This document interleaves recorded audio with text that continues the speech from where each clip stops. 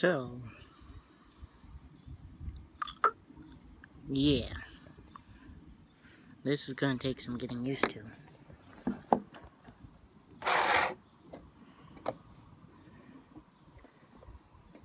Um, I don't know if the wings are a tad bit too tight. Mm. They seem to be going okay, but I don't know. For some reason, it just wants to go left.